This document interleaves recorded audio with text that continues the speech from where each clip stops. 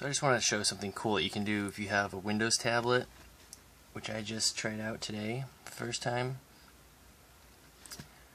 Without the keyboard, this thing's really portable. And it has one USB port, which most of them do, but most of them are micro USB. But if you have an adapter, you can convert the micro USB to regular USB. And the reason you might want to do that so if you're ever traveling or anything and you just want to, if you're in an airplane for like eight hours,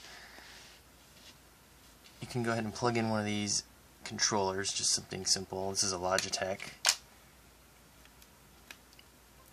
And just plug that right in.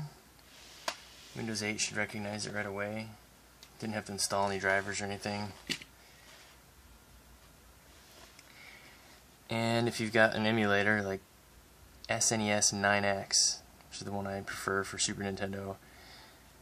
Uh, you can run some games on here. Here I've got Mario Kart. And just like that,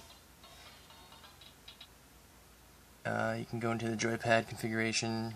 I think I've already got everything set up in here. Yep, controls are working right off the bat.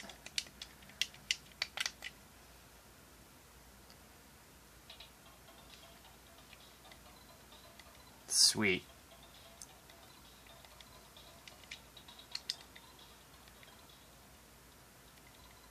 And there you go.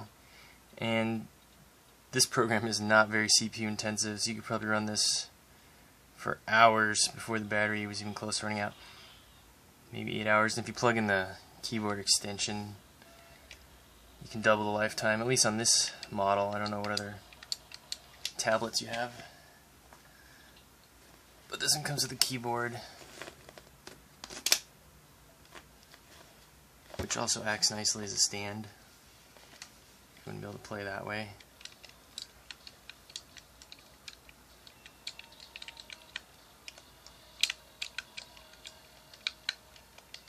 So yeah, it's pretty sweet.